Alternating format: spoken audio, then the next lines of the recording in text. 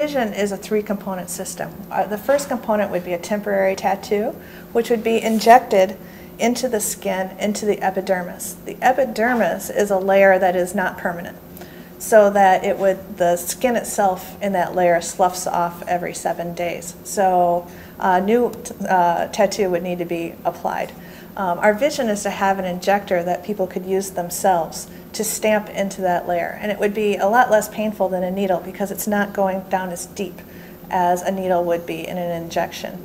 Um, once the tattoo was applied, we envision a handheld reader that we're developing right now that would just be run over the skin uh, to monitor the fluorescence that is being emitted from the glucose particles.